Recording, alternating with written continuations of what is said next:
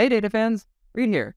Today I'm going to walk you through a quick and easy way to be able to split apart any of the data bars that you might want to display as the example you can see here in a table visual or in this example as well, a matrix visual where if you don't want to layer on both the actual data value or label on top of the bar itself, you can separate them into a dedicated column just for that.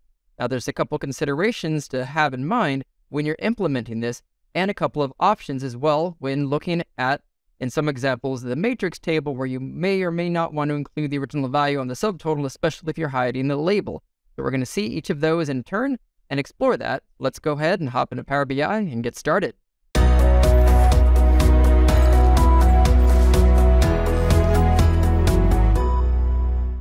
So let's start the conversation by looking at how we would typically apply conditional formatting data bars. In the table below, we can see for the year-over-year sales column, they have both the data label and the bar combined.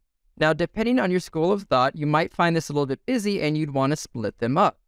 Now, the first thing you might think to do is to have a version of this table where you have two instances of the same DAX calculation in here, one where you don't apply the formatting and the other one where you would apply the formatting.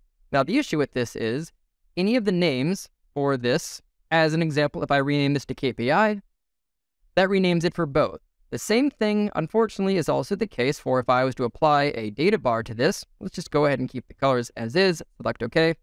It also applies it to both. So with only one measure in the model, any formatting that you have in a single visual or table, or matrix table in this case, will be applied to both calculations. Let's come over first to the Table Data Bars tab that we have here. Now what I have done in a standard table visual is we have two separate calculations for year over year sales and year over year KPI. Now, what I did is I created a new measure that all it did was reference the initial calculation. This allows the separate dedicated measure in the model to contain the same data, but because it is a separate measure, now I can format it individually. So I'm allowed to give it a unique name in this visual, and I can have the separate formatting, which allows me to do the data bar design plus showing the bar only. So this allows you, so to speak, to be able to split them apart. Now, before I finalized the approach that I'm showing you now, I did have some thoughts about adjusting the min or the max. But one downside, if we come to here and go to custom, you'll see that there's no f of x symbol here. And my thinking upon this initial approach was that maybe I could use the f of x button to have a measure that could then determine whatever the max was for that particular column of values add about 30 or 40% onto the total of that. So let's assume the max was 5 million, make that 8 or 9 million. What that would do is then for the entire width of the column for that bar, it would add a little bit of padding to maybe allow the label to stay on the right where the actual bar could be on the left and you can have both in the same column. But as we've seen when we show this again back in the demo, it does not actually have an option for that f of x button. So maybe someday that might come into play, but this is why I've taken the approach that I had is because that first option was the one that would have been ideal, but just a limitation of the data bars themselves does not allow me for that degree of flexibility or customization. So hopefully someday the f of x button shows up here. But we can at least now see the application of this inside of a standard table visual. Now the matrix table comes with a few more caveats. So as we can see here, and highlight it in a few of these sections, we don't have anything showing at all specifically in the subtotals.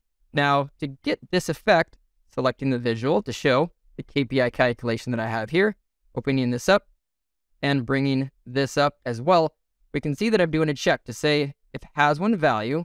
Essentially, what this does is this will look to see if I'm at the lower level of my matrix breakout for any of these classes or the particular country that they're associated with. If they have one value, meaning you're at that level, calculate the year over year sales. Otherwise, don't return anything to this result. So that nulls or blanks out this calculation in here so nothing displays. And I would prefer it that way. Rather than repeating this number as is, just to show you the other result, if I was to take this out, we would get an effect that looks like this. And that repeating information to me isn't necessary. So that is why I used the formula as we see here. So this is the reason I took this approach. So this measure for a matrix table will need to somewhat be customized to whatever levels of hierarchies you have into there, but it at least lets you apply some formatting that works at the levels you would like that bar to display.